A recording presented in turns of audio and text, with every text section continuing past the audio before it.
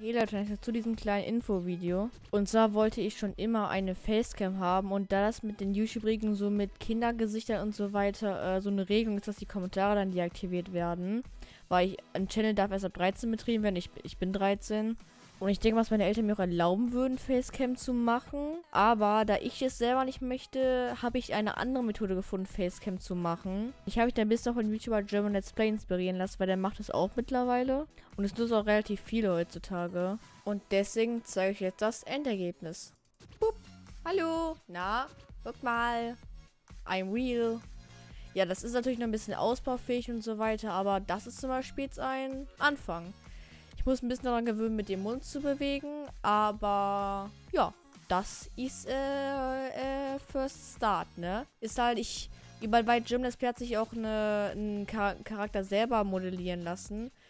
Ich weiß nicht, ob ich das auch machen sollte. Weil das ist halt auch ein teures Anspiel und deswegen würde ich eher sagen, lassen wir das mal. Denn ich habe jetzt zum Beispiel mehr als genug Auswahl erstmal. Ich habe jetzt zum Beispiel noch, wenn man das mal guckt, ähm, man hat hier noch zum Beispiel, äh, Moment, ich habe jetzt gerade hier die Auswahl. Man hat zum Beispiel noch so ein Raptor quasi. Moment. Da.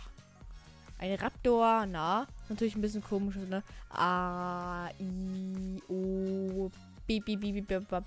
Al, al, al, al, al. Das ist natürlich ein. Sieht halt schon geil. Es ist halt schon geil. Also wie die Technik heutzutage ist, ist ist halt krass, ne? Ähm, ich muss mir noch einen Charakter aussuchen. Ich beziehungsweise ja zum Thema nochmal modellieren. Ich weiß nicht, ähm, wie es auch bei euch ankommen wird.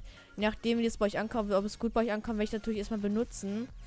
Aber Geld zu investieren für einen Modler, einen Modellierer, der ja sowas modellieren soll. Ich weiß nicht, ob ich das Geld da so lohnt, weil. Ja, ich denke mal, ihr wisst schon, was ich meine. Äh, ja.